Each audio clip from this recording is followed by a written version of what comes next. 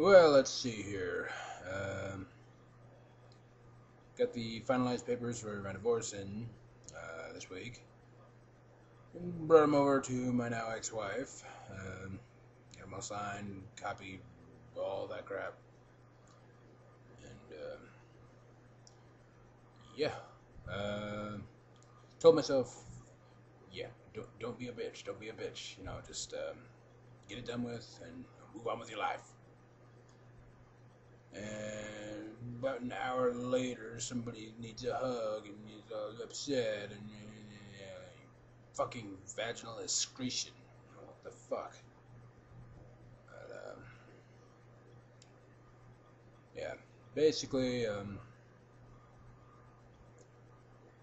yeah, I like to be a goofy guy. You know, I like to make people laugh, whatever there. But the fact is, I also have, you know, a dark side, which has uh, really come out in the past year. And um, unfortunately, at this time, I only feel comfortable sharing that side uh, with my now ex wife. Um,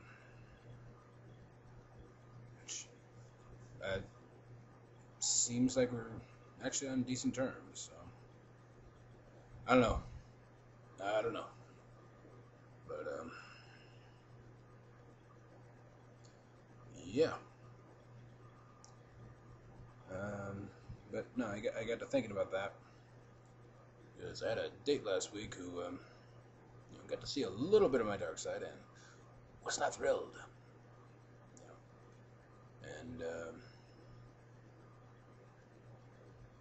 trying to reconcile, you know, the light and the dark, if you will. But um,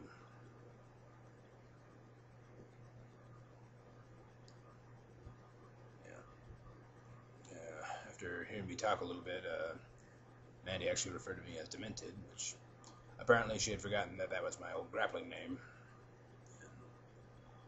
The thing I like about you know Demented, you know, just being out of the norm, out of sync with society.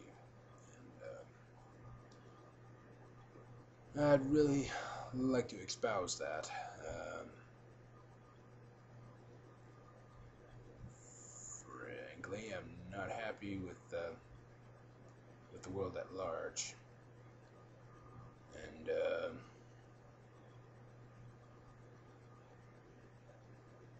visiting some some old demons. But um,